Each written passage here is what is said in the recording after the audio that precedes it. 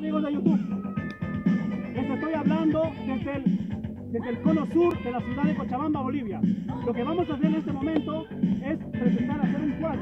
Pero eh, antes de eso quiero decirles que estoy hablando desde un pueblito muy hermoso que se llama Eso, eso es lo que quiero escuchar. Así que, así que amigos, vamos a hacer esta pintura. Los dejo y no olviden dejar sus comentarios. Así que vamos con el video.